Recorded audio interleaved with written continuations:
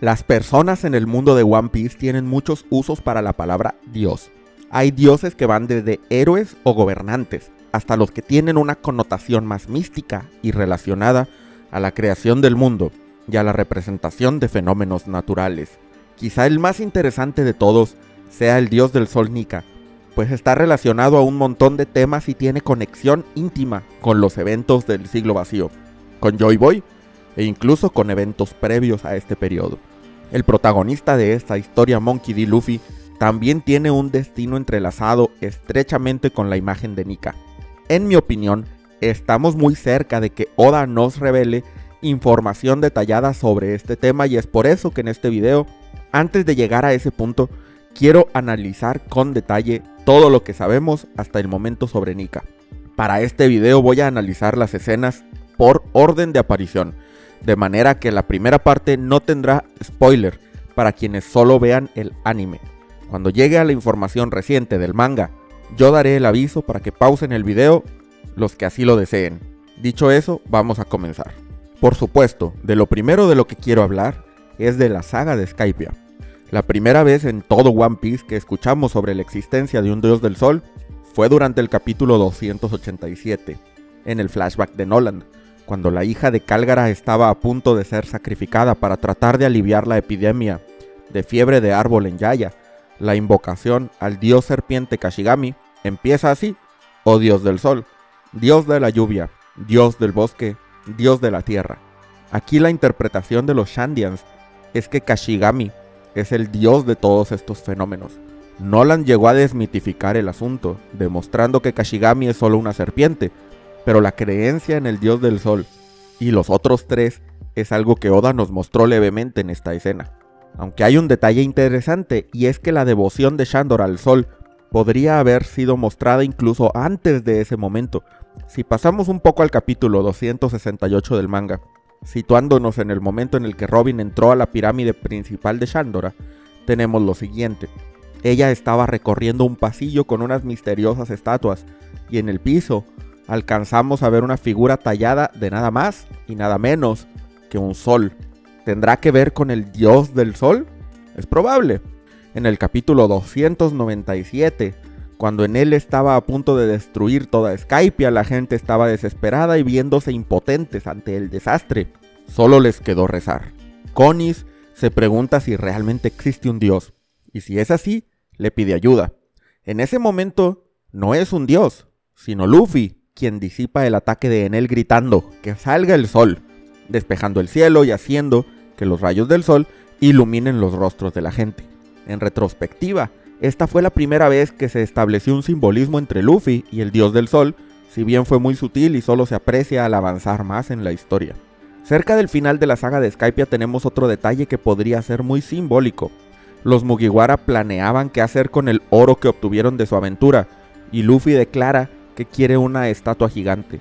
Al imaginarla podemos ver una figura con indumentaria como egipcia de lo que parecería ser en términos de One Piece un mink león. ¿Acaso esa figura será una especie de presagio sobre la naturaleza de Nika? Quién sabe, pero es un detalle que creo que debemos tener en cuenta para el futuro. Otro simbolismo notable viene de la interpretación de Iceberg del mascarón del barco que ahora conocemos como Thousand Sunny, un barco que cruza miles de mares como un sol es lo más adecuado para ellos. En realidad Frankie había hecho un león, pero la idea de mezclar al león con un sol va en línea con la escena anterior de la estatua de bronce. Una pista indirecta más a tomar en cuenta está en el capítulo 621 cuando conocemos a Fisher Tiger y se nos cuenta cómo se crearon los piratas del sol. Luego de liberar a los esclavos de Marilloa, muchos Gyojin se unieron a él y para ocultar la marca de los Tenryubito, se grabaron encima la marca del sol. Es por ahora incierto si Fisher Tiger sabía sobre Nika y lo tomó como inspiración para este acto, pero es muy probable que sí. La marca del sol liberó a los esclavos de cargar con la marca de los Tenryubito, cosa que va en línea con la temática de Nika como guerrero de la liberación. Durante el capítulo 866 aprendimos que el culto al sol no solo se presentó en Shandora, sino también en Elbaf, se nos enseña que en ese país durante el solsticio de invierno hay un festival en honor al sol, donde se ayuna por 12 días y tras de eso hay un gran festín que simboliza la muerte y el renacimiento del sol. Fue hasta el capítulo 1018 que aprendimos de forma directa sobre la figura conocida como el dios del sol Nika. Hushu, uno de los miembros de la tripulación de Kaido y previo agente del CP9, nos explica que luego de que Shanks le robara la Gomu Gomu no Mi, fue aprisionado. Estando encerrado, un guardia le habló sobre el dios del sol Nika, quien lleva sonrisas a los esclavos y los libera de su sufrimiento. Luego de decir esto, el guardia desapareció y no se le volvió a ver. En este punto de la historia se nos muestra una silueta, una figura con el cabello como una llama, con una espada en una mano y una lanza en la otra, con lo que parece ser un taporrabo y con algo de imaginación podríamos pensar que trae dos tambores en la cadera. Juzju se preguntaba si Jimbe sabía algo sobre el tema, relacionándolo con los piratas del sol, de los cuales muchos eran esclavos. Como Jimbe se molestó con él y lo derrotó inmediatamente, seguimos sin saber si realmente tiene conocimiento acerca de Nika o no. Pero quizá tenemos una pista y es que en la isla Gyojin tenemos un personaje llamado precisamente Nika.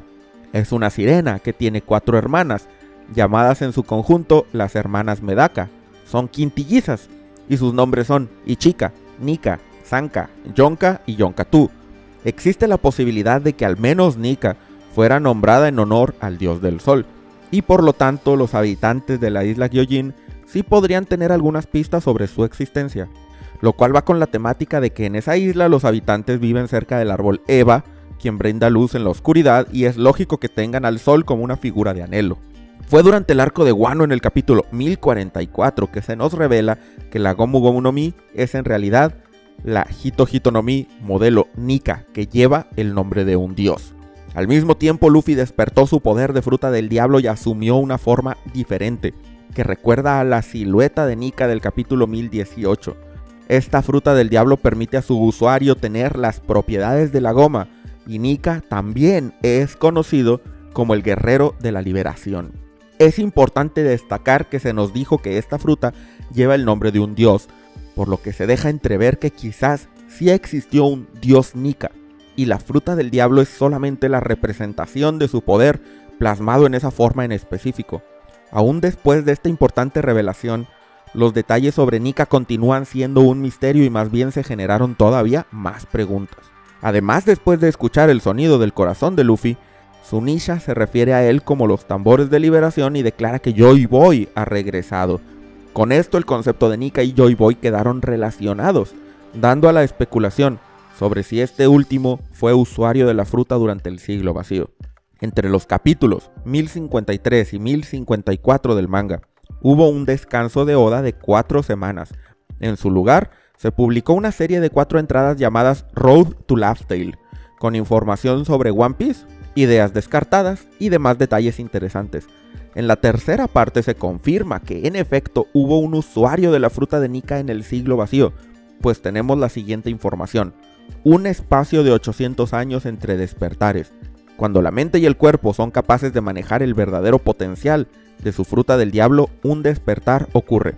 Esta fruta en particular no había sido despertada en 800 años, pero ahora que lo fue, su nombre alternativo se hizo claro. En esa misma página hay una referencia a Skypia, en la escena de la fiesta final con una hoguera, en la que se escuchaba un ritmo idéntico al de los tambores de liberación, y la imagen se acompaña del siguiente texto. Destino o coincidencia, relación con Skypia una canción folclórica con el mismo ritmo de Nika, podrá estar relacionado a los creyentes del dios del sol en el pasado distante. Dado que la mayor cantidad de referencias a este dios previo al arco de Guano estaban en el arco de Skypia, resulta evidente que en efecto el dios Nika tuvo gran importancia en la cultura de Shandora. En la cuarta parte del Road to Laughtale vemos un boceto de lo que parecería ser el Gorosei Topman Valkyrie discutiendo algunas cosas interesantes tales como que el poder de Luffy usa la imaginación y que en el pasado todos creían en el dios del sol Nika, además de que su despertar es un milagro. Y en otro boceto hay un detalle que podría ser crucial en la historia de One Piece y dice, Dios del sol Nika, entre más se ríe, más fuerte se vuelve. Hemos presenciado varias veces el enorme poder de esta fruta del diablo desde su despertar, pero si esto es verdad, quiere decir que el potencial que Luffy podría tener es ilimitado, dependiendo solamente de qué tanto se esté divirtiendo en sus batallas. En Guano aprendimos que esta fruta tuvo su nombre censurado. Y en Egghead, en concreto el capítulo 1069 del manga, Vegapunk nos revela que todavía existen copias de la enciclopedia de frutas del diablo, en donde el nombre original está presente. Probablemente sea una copia muy antigua de más de 800 años de antigüedad, pues Vegapunk nos explica que en esta enciclopedia no aparece la Gomu Gomu no Mi, pero sí la Hito Hito no Mi modelo Nika. Además nos aclara que la forma que adquiere Luffy con su despertar es idéntica a la que se describe en los textos antiguos, lo que también nos hace ver que hubo información que sobrevivió a la purga de hace 800 años y en donde hay referencias a la apariencia de Nika.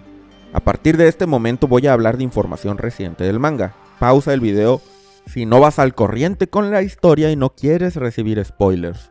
En el arco de Egghead introdujo una nueva raza, los Bucanir, que tienen la particularidad de tener sangre de gigantes pero además la creencia en el dios del sol Nika. En el capítulo 1095 vemos cuando el padre de Kuma le está hablando sobre la leyenda y vuelve a aparecer la figura con espada y lanza que habíamos visto con Juzhu. Y aquí quiero hacer notar un par de cosas importantes. La primera es que si vamos a la escena con Robin en Shandora del capítulo 268 de la que hablé antes, vamos a notar que las estatuas tienen rasgos similares a los de Kuma y su padre, miembros de la raza Bucanir que ahora sabemos que creen en Nika. Juntando esta información con la figura del sol que está en el piso, podemos especular que en Shandora alguna vez habitaron personas de esta raza. Coexistieron con la gente alada que venía de la luna, quizás, y en ese caso podemos especular que fueron los bucaneros quienes llevaron al mito de Nika a esta parte del mundo. En segundo lugar, en el Road to Laughdale volumen 3 se hizo una alusión a creyentes del dios del sol en el pasado distante, cuando se hablaba de la tonada de la escena de la fiesta de Skypia. Es posible que aquí de forma muy sutil se haya hecho referencia a la raza bucanera, como los creyentes originales de Nika y los que le enseñaron la tonada a la gente en Skypia. En el capítulo 1102, Bonnie recibe un collar de zafiro con la forma de un círculo grande rodeado de ocho más pequeños. Para Bonnie se ve como el sol. Ese preciso símbolo se ha visto muchas veces en la historia de One Piece, notablemente en Skypia, en la bandera de Arabasta, el emblema del clan Kozuki y recientemente en la iglesia del padre de Kuma en el reino Sorbet. ¿Será realmente el símbolo del dios Nika? Tal vez. Un dato extremadamente importante sobre Nika lo revela Vegapunk al inicio de su mensaje en el capítulo 1114, cuando nos habla de Joy Boy, pero nos dice que él tenía la capacidad de estirarse como el dios Nika de Elbaf. Con eso no solamente confirma a Joy Boy como el usuario previo de la fruta del diablo, o cuando menos como portador previo de su poder, sino que además nos aclara el origen del mito en la isla de los gigantes Elbaf, aunque la creencia del dios del sol podríamos pensar que está distribuida en muchas partes del mundo, como es Skypia y quizás la isla Gyojin, ahora sabemos que es un dios originario de Elbaf. Siendo los bucaneros una raza con sangre de gigantes, la narrativa cobra bastante sentido. Es probable que fueran estos mismos bucaneros los que hubieran viajado por el mundo en el pasado llevando la creencia de Nika a muchos lugares y culturas diferentes. Pero otra cosa muy importante es que Vegapunk habla de Joy Boy como alguien que poseía el poder del dios Nika de Elbaf. Una teoría era que el mito de Nika se creó a partir de Joy Boy, que él fue el primero. Pero por como dice el científico las cosas, parecería como si la creencia de Nika fuera más antigua, incluso que la existencia de Joy Boy, es decir, se remonta a hace más de 900 años. Siendo así, podríamos pensar que antes incluso de Joy Boy hubo otras personas con el poder de Nika. Y claro, debió haber un Nika original. El primero, el que realmente le dio origen al mito. Pero no todo encaja perfectamente, diría yo. La apariencia de Nika, al menos la silueta que vimos, no se vería como lo que uno pensaría que es un dios de Elbaf, es decir, con rasgos de mitología nórdica. Eso sugiere muy indirectamente que si bien Nika se originó en Elbaf, pudo haber sido una creencia de una cultura distinta a la de los gigantes que conocemos en el presente. Y claro, si esa creencia se remonta a milenios en el pasado, tiene sentido que sea así. Durante el capítulo 1115 tenemos una silueta de Joy Boy con su fruta del diablo despertada. Es extremadamente similar a Luffy y lo que quiero hacer notar es que tanto la forma de Luffy como la de Joy Boy difieren de la silueta original de Nika, es decir, no portan una lanza ni una espada, no tienen un taparrabo, pero además ambos tienen un halo de nubes alrededor del cuello que no se muestra en la forma de Nika vista en los capítulos 1018 y 1095. Esto podría deberse a que Luffy y Joy Boy eran usuarios de fruta, que si bien son similares, no son idénticos a la forma del dios original que dio el origen al mito. Por el momento todo esto es especulación, así que no hay una respuesta definitiva al respecto. Quiero hacer énfasis ahora en el concepto de la libertad relacionado a Nika. Se le llama el guerrero de la liberación y el sonido de su corazón es llamado los tambores de la liberación. Cuando Luffy le pregunta a Bonnie sobre su transformación al inicio del arco de Egghead, este le contesta que es la forma en la que es más libre, y la postura que Luffy asume en el manga es idéntica a la del capítulo 302 cuando imagina su estatua gigante de bronce.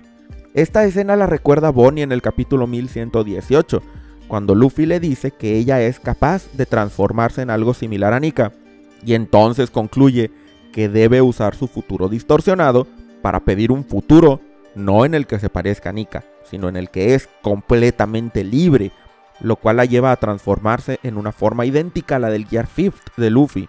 Me parece que es posible que el poder de Nika pueda influenciar a otros y llevarlos a esta forma de libertad, una transformación especial, y quizá de ahí venga el nombre de Guerrero de la Liberación. Ya veremos si esto prueba ser verdad en el futuro o no.